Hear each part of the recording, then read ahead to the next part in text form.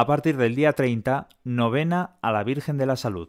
La comunidad religiosa de Siervas de María en Barbastro celebrará como cada año esta novena que será desde el día 30 de este mes hasta el día 8 de mayo, fiesta de la Virgen de la Salud.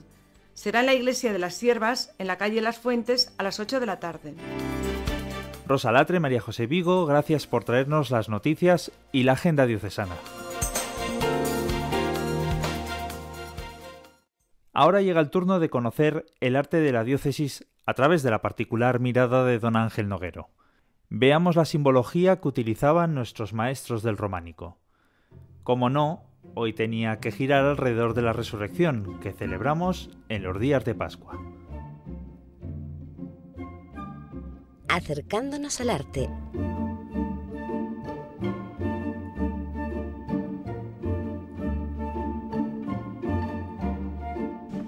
Capitel de la Resurrección del Señor, de Montañana, provincia de Huesca. El capitel que nos ocupa hoy se encuentra en la portada de la iglesia de Nuestra Señora de Valdós de Montañana, provincia de Huesca. Para acceder a dicho pueblo se tiene que ir a Benavarre y salir a la carretera que conduce a Viella. Al llegar a Puente de Montañana hay un desvío hacia Montañana que se encuentra a un kilómetro. La portada románica es el elemento más expresivo del exterior del templo románico, por su estructura y ornamentación. Es lógico que en ella se centre una parte fundamental del mensaje transmitido por las imágenes. La intención de las imágenes esculpidas en la portada es reforzar el mensaje didáctico de la fe cristiana. El escultor románico realiza una temática en relación con el culto y los dogmas que son explicados al creyente. Si se observan sus formas de realización aparentemente toscas, desproporcionadas, carentes de euritmia, es decir, de armonía, ¿acaso el escultor románico tiene falta de técnica? Nada de esto.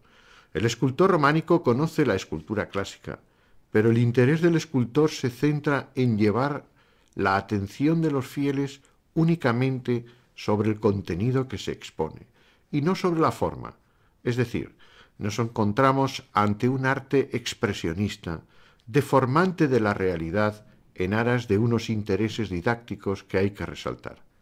El credo, símbolo de la fe, era más fácilmente interpretado por el hombre sencillo a través de la narración en piedra. El momento cumbre del cristianismo es la resurrección, pues es el compendio y la síntesis de la redención del hombre.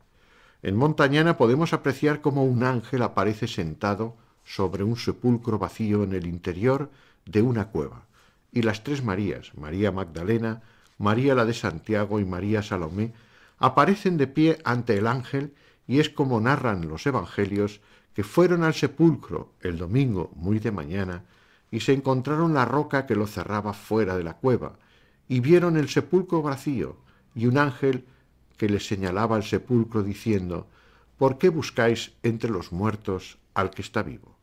No está aquí, ha resucitado.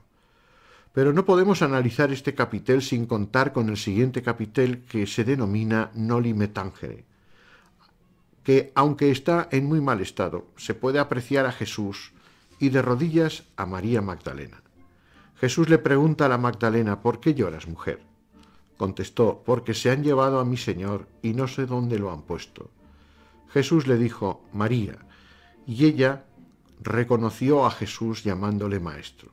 Jesús dijo, suéltame, que en latín es noli me tangere, que aún no he subido al Padre.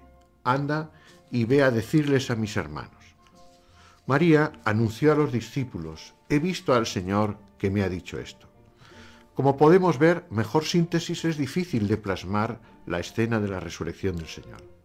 Los rasgos de las tres Marías se han perdido totalmente por el paso de los años y la inclemencia del tiempo, pero sí se ven gran parte de los vestidos y los pies. En una reciente restauración de Nuestra Señora de Valdós se puede ver el magnífico trabajo del escultor en la confección de una de las alas del ángel que anteriormente quedaba oculta por el encalado del capitel. El maestro de Montañana ha sabido dotar de una fuerza de expresión a todas sus figuras. Dando su estilo, se puede afirmar que se formó en Francia, por acusar la influencia de la escultura del Languedoc. fechándose en torno a los primeros años del siglo XIII. Feliz Pascua.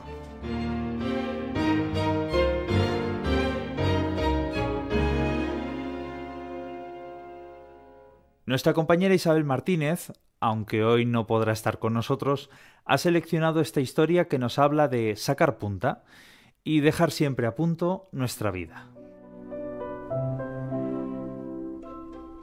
Cuentos y parábolas.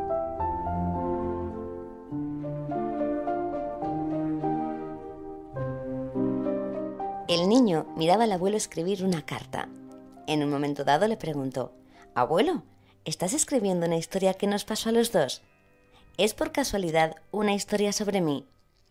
El abuelo dejó de escribir, sonrió y le dijo al nieto, Estoy escribiendo sobre ti. Es cierto. Sin embargo, más importante que las palabras es el lápiz que estoy usando. Me gustaría que fueses como él cuando crezcas. El nieto miró el lápiz intrigado y no vio nada de especial en él y preguntó, ¿Qué tiene de particular ese lápiz?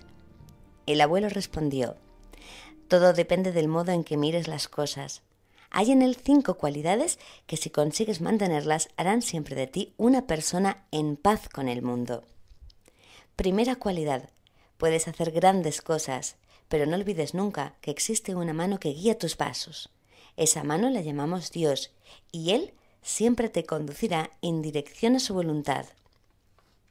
Segunda cualidad, de vez en cuando necesitas dejar lo que estás escribiendo y usar el sacapuntas.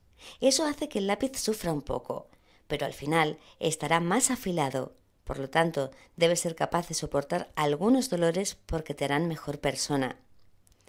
Tercera cualidad.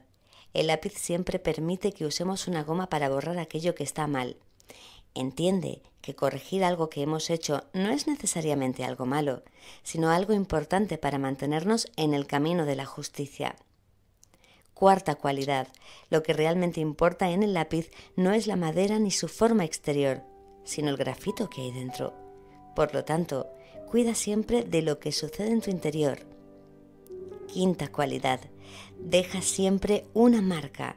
De la misma manera has de saber que todo lo que hagas en la vida dejará trazos.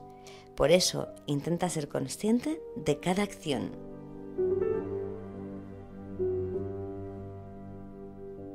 Gracias a Mamen Zandundo por aportar su voz a esta bonita historia. En el programa de hoy os ofrecemos un nuevo texto que habla sobre una virtud, acerca de qué somos, cómo vivimos, lo que nos hace únicos y lo que nos une a los demás. Es la identidad. Ibsen decía, el primer deber del hombre es ser uno mismo. Y es verdad, no seamos fotocopias, seamos originales, que eso somos cada uno, personas únicas e irrepetibles. Cada ser humano está llamado a crearse y a recrearse en las claves de su identidad, porque, hemos de repetirlo, somos únicos e irrepetibles. Nuestra fe nos dice además, y así aparece en la Biblia, que hemos sido creados a imagen y semejanza de Dios. Este es también el origen de nuestra dignidad y aquí está la fuente de nuestra originalidad. Dios ha puesto en nosotros unas cualidades, sobre todo las cualidades del espíritu, que nos permiten pensar y decidir, y hemos de cultivarlas y desarrollarlas para bien nuestro y de los demás. Llegamos a saber nuestra identidad, como somos, cuando no tenemos miedo a entrar en nuestro interior y cuando somos conscientes de nuestros pensamientos, sentimientos y tendencias. También cuando aprendemos de nuestras experiencias y cuando pensamos con serenidad antes de decidir y de actuar. Recordábamos al principio un pensamiento de Ibsen. El primer deber del hombre es ser uno mismo. Terminamos con este otro pensamiento complementario de Hegel. Sé persona y trata a los demás como personas.